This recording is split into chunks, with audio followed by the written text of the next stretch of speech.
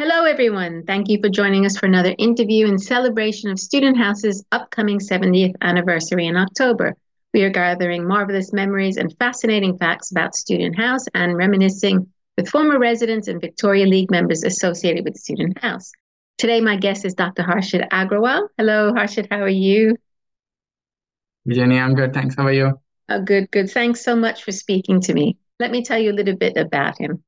Dr. Harshit Agrawal is a distinguished professional with a rich academic career and career trajectory. Having completed his PhD from Imperial College London, Harshit has established himself as a knowledgeable consultant within a multinational company based here in the UK. With over a decade of experience in his field, he has spent the last seven years in London, contributing significantly to the industry. Harshit arrived from India in the UK and at Student House in October 2017 to pursue a PhD in mining engineering from Imperial College London. He stayed at Student House for over three years and said it is one of the best times living there. The Student House helped him make friends with many fellow students from different universities, studying various courses from different Commonwealth countries. In the later part of his stay, he served as one of the student duty officers and as a member of the housing committee, working with Laura and Doreen to help students make their stay as enjoyable as possible. Beyond his professional commitments, Harshit is deeply involved in various societies, dedicating his time to fostering the growth of young professionals, students, and budding entrepreneurs. His passion for mentorship is evident in his active participation in volunteer work, where he provides guidance and support to those embarking on their professional and entrepreneurial journeys. His efforts not only reflect his commitment to his profession, but also his desire to give back to the community and pave the way for future generations. That's a fantastic bio. That's great. Let's go on to this. How did you discover Student House in the first place? Yeah, so when I uh, got an admit from Imperial College London, I was looking for some property uh, nearby so that I can commute uh, like by walking or you know like minimize my transportation use. So I found this, which was like just north of Hyde Park and showed like a reasonable commutable distance to Imperial College. So that was one of the reasons why I chose Victoria League House. And then when I was inquiring like a bit more, so I got some good reviews about Victoria League House on internet. So I was like, okay, uh, this is the place to be. Good. And did you get a good vibe when you first went there? You liked what you saw? Yeah. So essentially, like uh, there was some student group communities on Facebook at that time. So we were uh, like all those who had got admitted in Imperial College. So we were like looking for fr- uh, friends or like uh, someone to share a flat with. So the person I shared my room with in my first year, and he's still a very good friend of mine. So uh, we connected on uh, on uh, Facebook. And then he was like he had his some of his friends living here. So in London, so they went and visited the house. It was like okay, everything is you know like good and because there are like scams going on so you're like not 100% sure every time like whether it's a legit property or not. So but because he got it verified from someone who was living in london. So yeah so that uh, improved uh, my confidence in booking the house oh, good. isn't it nice that you're still friends I, I guess you make lifelong friendships at student house don't you oh definitely definitely most of the people i made friends with at uh, victoria league house i'm still in close touch with them like if they are in the UK, so we still like uh, catch up every now and then.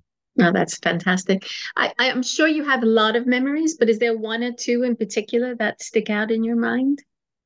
Yeah, definitely. So, uh, you know, I come from a Hindu uh, religion, so we like Christmas is there in India, but it's like not in uh, the shape that it is in the UK.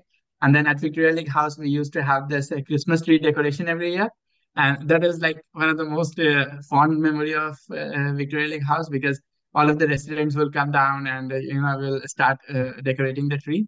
And it will be like a few hours of hard work and then the tree will look like amazing. So very beautiful yeah it's funny. That comes up a lot. A lot of people say the christmas tree decoration is their favorite. That that's that's a lovely memory. Um you you were a, an officer a student officer at the do you remember what kind of role what what things you did at the house in that role?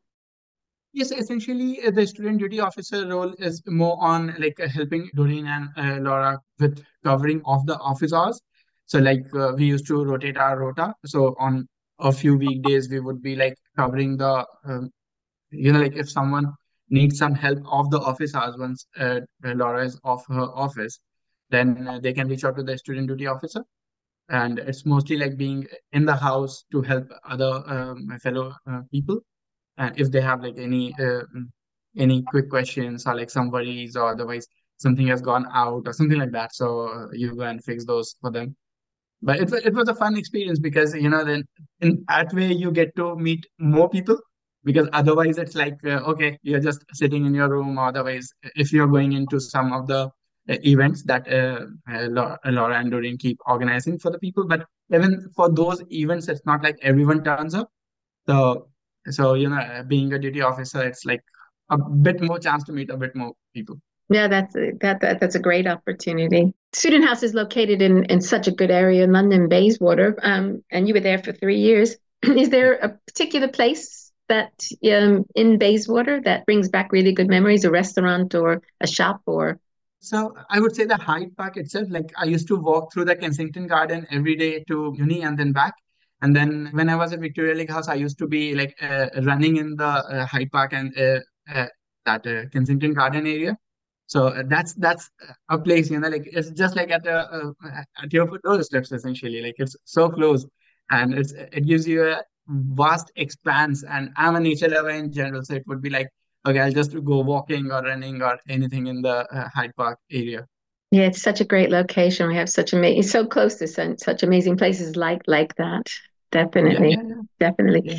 Um, and finally, I'm sure, but would you encourage um, new students coming to London from the Commonwealth countries to stay at Student House and why? Definitely. So many a times when someone reach out to me, if they have got an admit somewhere, so you know, like either through LinkedIn or otherwise on any channel. So if they ask for an accommodation, so Victoria League House is my go-to place.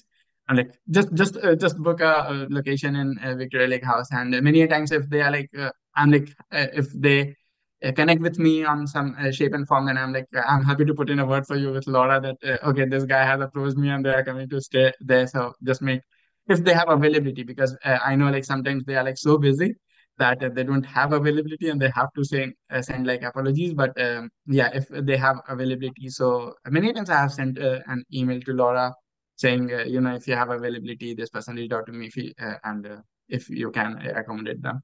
Well, then it's coming. It's coming from a great endorsement. Then obviously you liked it and you're happy to to do that. So that's great. Yeah, yeah, and uh, you know, like the overall uh, the vibe that I got at the student house was uh, like really positive and really supporting. So you know, because uh, all the students who have come out for their study, so they are mostly in the same boat, like similar sort of feelings. And then if uh, because it is only for Commonwealth, so most of the events that we celebrate are also like uh, you know recognizable across back in time when I was living there. So we had a very huge uh, dominance from India.